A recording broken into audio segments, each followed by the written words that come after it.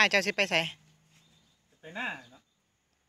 แต่ถามเนี่ยตั้งแต่ฉีดวัคซีนโควิดมาสองเข็มนี่มีผลข้างเคียงหยังอยู่บ่บ่มีอย่างเดียวล่ะว่าเป็นอย่างเดียวล่ะก็สำบายดีแต่ว่าเป็นอย่างบ่มีอาการหลงหลงลืมลืมหยังแน่น่ะบ่ก็บ่ได้ล่ะบ่ลืมบ่ลงอย่างได้ล่ะก็ธรรมดาก็ไปให้ไปสวนนี่ธรรมดาเลยไปได้บ่เนี่ย ใส่หมวกกันน็อกขึ้นรถก็มีเนาะ